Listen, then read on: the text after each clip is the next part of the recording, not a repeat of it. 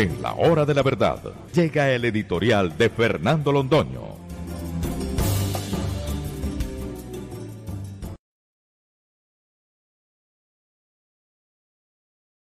Porque aquí tenemos cerca de 3 millones de venezolanos expatriados, porque es la patria de Bolívar, porque es nuestro vecino, porque lo que pasa en Venezuela no nos puede ser indiferente. Hacemos esta nota para la que nos da pie el señor López Obrador, un hombre bastante ignorante, de mala condición, que ha regido los destinos de México en los últimos años, resultado de unas elecciones en las que se le respetó su mayoría.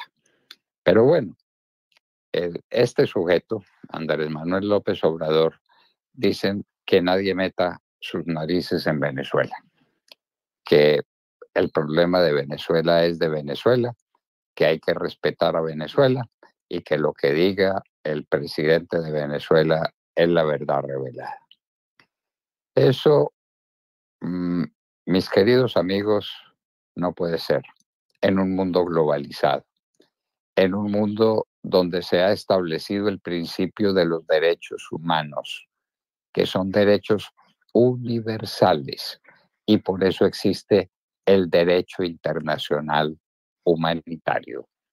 Lo que pasa en cualquier lugar del mundo tiene que tener conexión con lo que pasa en el mundo entero.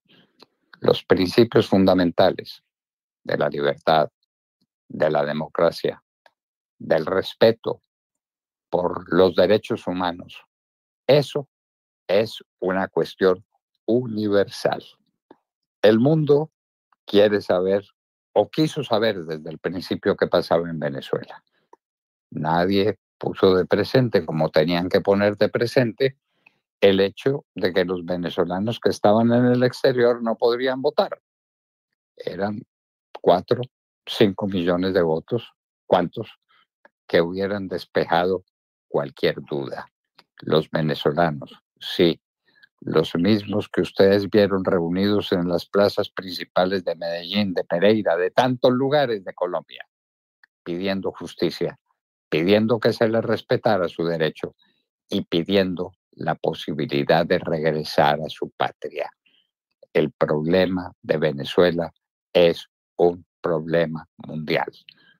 Y eso se va a incrementar ahora.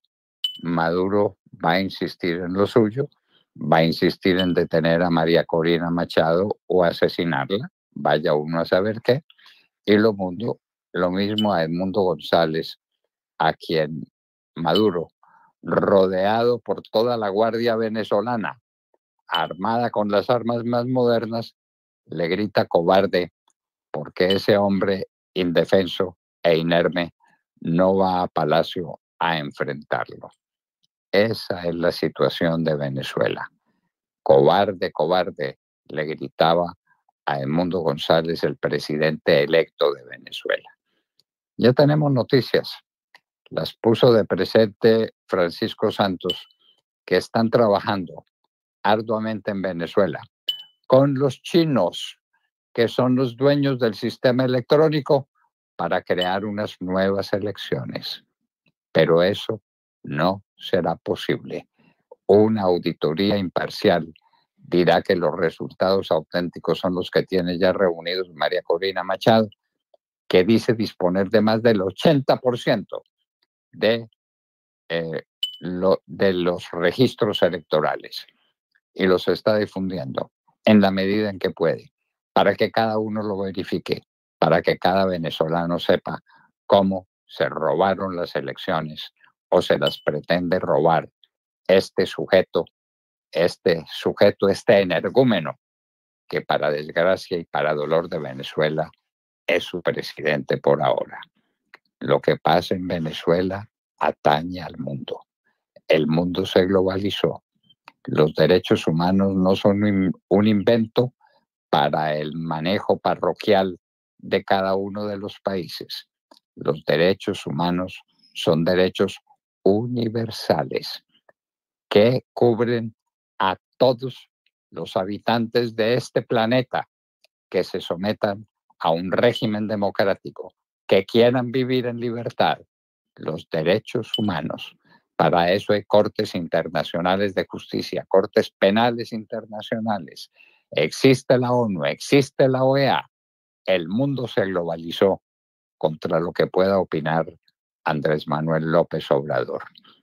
A Venezuela la saquearon, a Venezuela se la robaron y los ladrones de Venezuela persisten en seguir en el poder, creando los problemas que le están creando al mundo entero. El mundo entero no lo puede tolerar. Las elecciones de Venezuela se cumplieron indebidamente porque, insistimos, dejaron de lado el poder de voto de cuatro o cinco millones de venezolanos que están en el exterior, deseosos de votar, que hubieran ido a los consulados, que hubieran manifestado su voz. Desde ahí empezó la irregularidad y después en las elecciones, a pesar de que sacaron a la fuerza de los centros electorales a los opositores, se pudo establecer con más del 80% de las pruebas en la mano que la, la relación es de 70-30.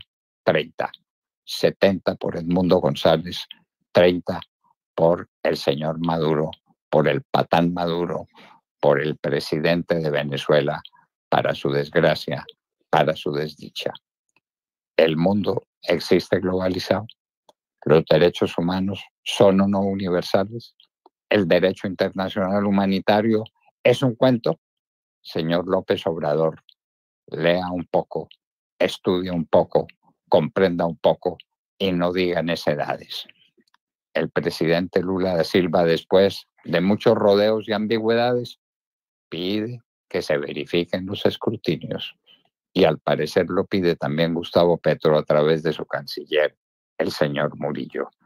Solo López Obrador dice que dejen sola a Venezuela, sola con su tragedia, sola con su dolor, sola con la manera como aplastan los derechos humanos y como no respetan el derecho internacional humanitario.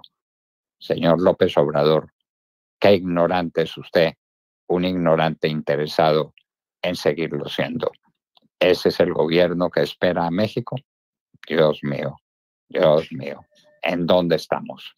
En esta aldea global no hay lugar para que se cometan estos atropellos.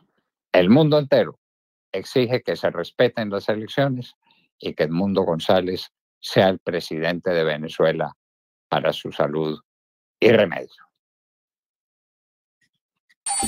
www.lahoradelaverdad.com.co Escúchenos desde cualquier parte del mundo a través de nuestra página de internet. Opinión, deportes, cultura y entrevistas. Visítenos y participe www.lahoradelaverdad.com.co. Pase la voz.